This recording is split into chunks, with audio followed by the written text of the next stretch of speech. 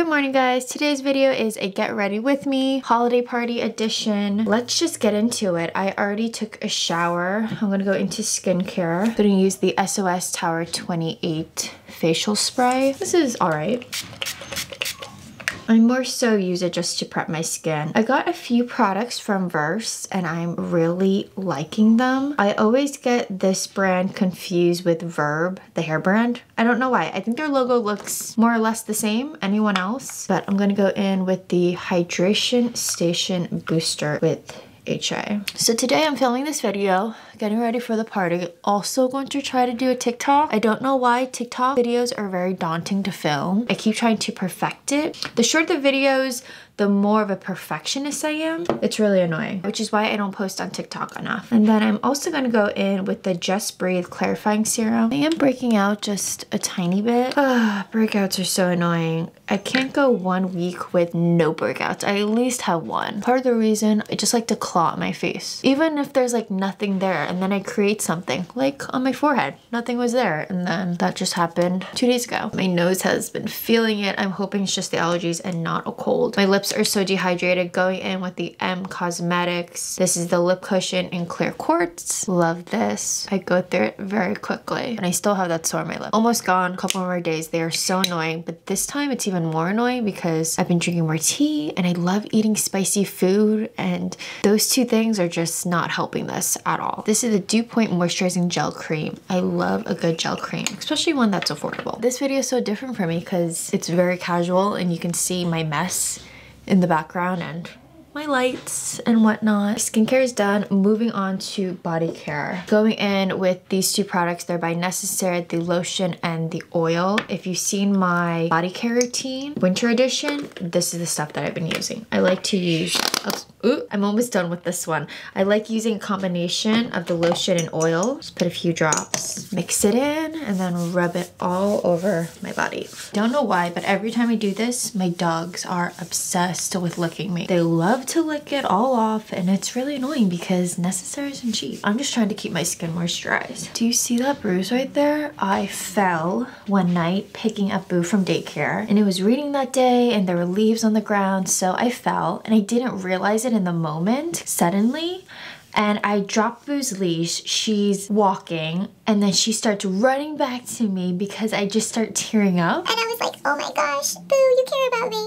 You know, she was like so worried. It was really sweet, which made me forget that I even fell. I hurt myself a little bit on my finger, but Besides that, not bad. For this holiday party, I'm going to the city. If you guys don't know, I live on Long Island. I used to live in the city for the last four years and then COVID hit and that changed everything. In a way, it really just worked out. Saving money, being closer to my mom who's sick, being able to see her almost every single day and just helping her out. It was worth it and we got two puppies and just have more space. So it definitely worked out in the end. I'm kind of nervous to go in the city because of COVID. Even though I did get vaccinated, I'm getting my booster shot. It's just really nerve wracking, especially going into a venue that's small and there's just a lot of people. It's just something I worry about, especially because I have a mom who is older who lives in assisted living, you know? Like those are things that you have to think about. Anyway, those are just the things that are kind of going inside of my head that I'm always constantly thinking about, especially now that I'm going into the city. Haven't gone into the city in a minute, specifically taking the train. I think the last few times I've been taking my car just because it's more convenient, especially with two puppies. Onto the makeup, we are using this one. In my last video, I talked about using this palette specifically using this one eyeshadow. Today, I want to use that green. I told you guys last time that I want to use that green and I am.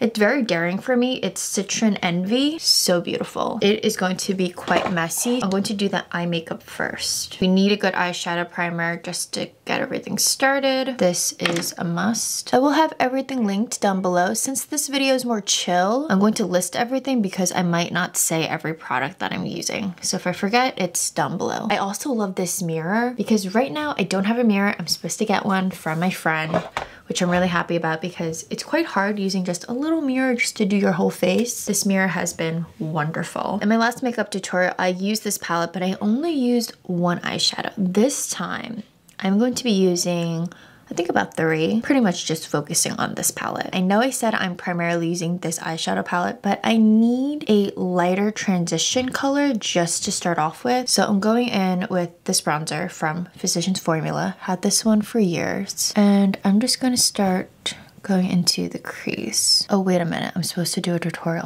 Next that, we're gonna go into the hair. See, this is why I can't do a YouTube video and a TikTok. It's really hard for me to figure out when to film one, when to film the next, and then to film again in between. Barely did much of anything, so I could easily take that off. We're gonna go into hair. I'm going for a very relaxed wave. So to create that, you could do either two things. One, sleep with braids, but sometimes it can look a little too defined, so you either have to put less braids or just keep keep the braids really loose. But since I didn't do that last night and I took a shower instead, I will be using a straightener. First, I'm going to quickly blow dry my hair straighter. Before I heat style my hair, I like to put in a couple products. This one is the Gisou Heat Protecting Spray, and this one is the Color Wow Dream Cocktail Leave-In Treatment. This is like a leave-in conditioner, uh, just a little bit lighter. And I've been loving the new Revlon Plus. I've already reviewed this. If you missed that video comparing the original to the Plus, check it out right here. Just just so you guys know, I love it. Been using it ever since that video. This cord is on the shorter side, so I don't think I'll be able to film myself blow drying my hair. Not too much volume since I am gonna go in with the straightener. Halfway there, I still need to go in and braid my hair use the straightener. First, I'm going to do the TikTok video. It's actually the one using Rihanna's voice. You know, the one that's like trending right now. Hopefully it's still trending. Gosh, I feel like every time I find something like, ooh, I want to do it and I save it. And then weeks, months later, it's no longer trending. And I'm like, damn, I missed out on my opportunity. We are doing that now. This is my favorite affordable brush. It's by Kristin Ess. You can get it at Target. I love it so much. Great at detangling. Also very stylish. I'll have it linked down below. So now I'm gonna do that. Hopefully it doesn't take me that long. It can't take me that long because I'm not even, am I even mouthing any? If I, do I even have to like memorize lines or anything? I don't think so. At least not for the before. I'm gonna do it right there. Be back. So I filmed the first part of the TikTok video and it only took me five tries and I said, what, one word? I'm just so picky with TikTok videos. I don't know why.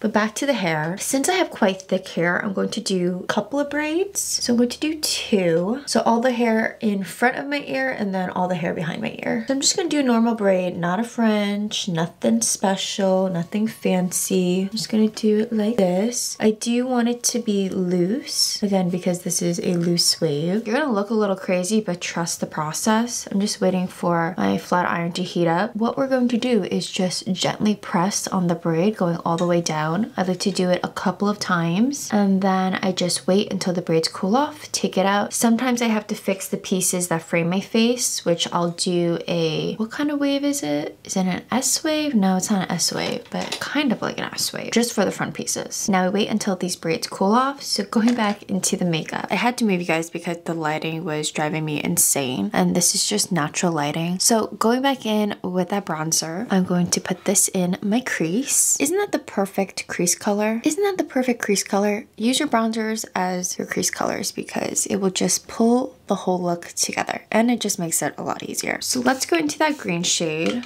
I'm just going to wet my brush. Now this is very messy. It's even more messy than the other shade that I used. Isn't the shade perfect for the holidays? I don't have anything like this and it's just so vibrant. I need to wear more colors on my eyes because this is so stunning. Deeping up the outer crease, I'm gonna go in with this shade, focusing it right here. If you follow me on my Instagram, then you already saw this look, but not up close. And if you haven't already, you should follow my Instagram because where I post more fashion content and just what I'm wearing. This color is so pretty too. This is very different than the other tutorial that I just posted, which is quite cool. I want to add even more, so I'm going to go in with something just a little bit darker, ever so slightly, like right here. I barely touched it and look how much pigment there is. Using tape to get the excess glitter off my face. And there's already my dog's fur. Oh, having a Sammy, you get fur everywhere, even if you clean so much. If you guys don't know, I have two puppies. They're very adorable. They have an Instagram account. Randomly, they started blowing up. Don't know why, don't know how, but it's all of a sudden they're just, it's crazy. Instagram is so frustrating trying to grow and to know that their account is growing, I'm not mad about it. But I also don't understand why or how. Like none of it makes any sense. So if you want to see some cute puppies and some holiday content, I'll leave their Instagram down below. My boyfriend just picked these up and they are so addicting. I think they're better than the original Takis. These are the Takis crisps and they are so, so good. they're so good. I love spicy foods, spicy snacks, spicy desserts, spicy drinks. Mm, that is where my heart is at. I'm going to do my base complexion products. They are the exact same as the previous tutorial. If you need to refer to that, I will have it linked up in the cards and at the end of this video, but I will be right back. We're almost there. I want to show you guys the blush that I'm using. It has been my favorite blush for any kind of look for something more natural or something more full glam like this. This blush by Burt's Bees is amazing. They make amazing blushes. This is Toasted Cinnamon. It's like a blush bronzer for me, but it's stunning. You guys have complimented me on this blush and this is what I like to wear. This one and M have been my top two blushes this year. See that difference? It just warms up the skin so beautifully, but it's not too warm. Going back to the eyes, I'm going to use that bronzer and do the lower lash line going halfway and then connecting the edges. I'm going to darken it up just a touch with this shade that I used in the crease, not the darkest one, just really focusing it right there. Going in with my trusty L'Oreal Infallible Black Eyeliner. This will last all day, won't have to worry about any smudging or anything. I'm going to create a small wing using the Rare Beauty Perfect Strokes eyeliner. This one is so black. I don't want too much eyeliner right here, so I'm just going to create a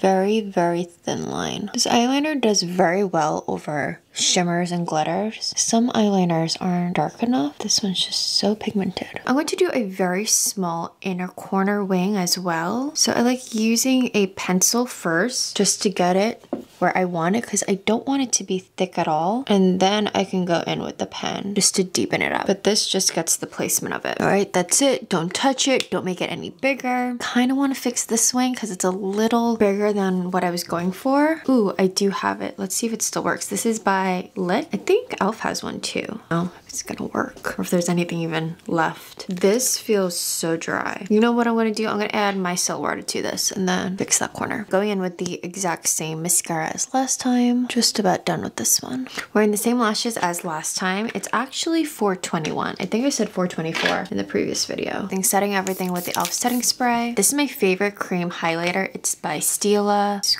gorgeous. This is in the shade Brilliance. I hope this is still available. I got this a couple years ago. I love a warm gold highlighter. And this one just melts into the skin so beautifully. Em Cosmetics Lip Liner in Teddy is a must. The perfect warmy nude. Pairing with it, the Em Cosmetics True Gloss in Caramel Glaze. These pair perfectly together. Makeup is finally done, so let's go back into the hair. Now the braids have definitely cooled off. See, it's like a really slight weight. That's exactly what I'm going for. It doesn't look like I have to fix my front pieces with a straightener, but let's say you did and didn't have this beautiful bend.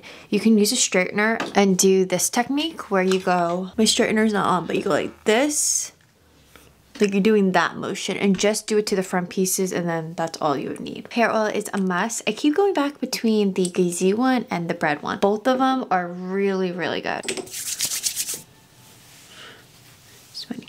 Hair looking shiny. Sometimes my hair will stick up like little baby hairs here and because I have a widow's peak and these pieces in the front tend to stick up, I want them to be really flat. So I like going in with this. The label is basically gone, but it's by Kristin Ess. This is the Recovery Balm. I like to warm it between my fingers since it is a solid. Gently press down the baby hairs. I like this more than a hairspray. And it also gives a nice shine to the hair. Just makes your hair really shiny. And then you can also go directly too, but I just, I like warming it up first. I also like putting it at the ends of my hair. Again, I don't want it to be perfect or anything. I just want more like lived in wave, you know? This background is a mess, but let's keep continuing. For dress, this one is from Free People. It's just a knit long sleeve dress, a very thin knit, so I won't get too hot at the party. Usually I would wear something like a spaghetti strap, but since I'm traveling from the island, I am gonna gonna get a bit cold. So I'd rather do something like this. It has a small cutout, but it's still, it's not too sexy. And also it's a dress that I'm gonna wear more than once, like more than just this event. And that was really important to me because a lot of times for holiday parties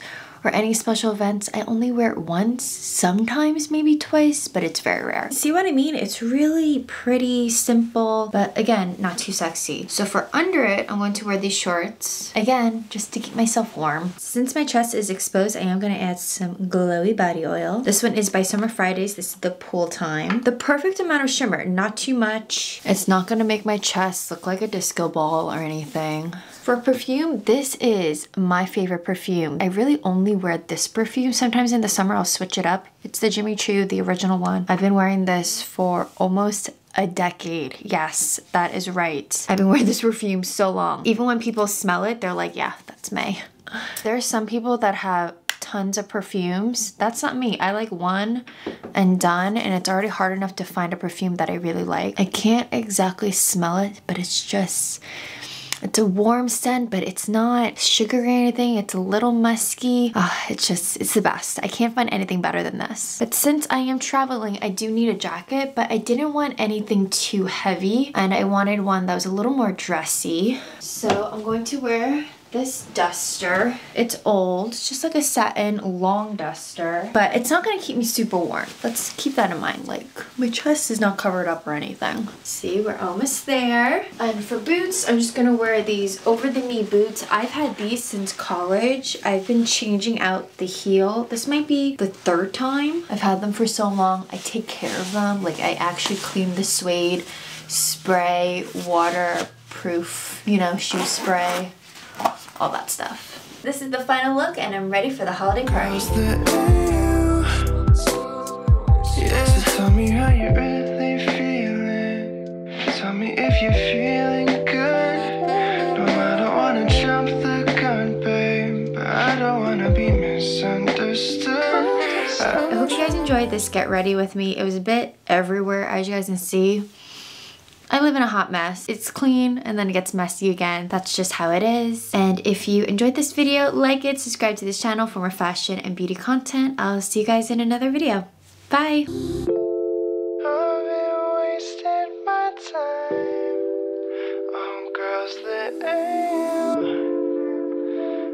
girls that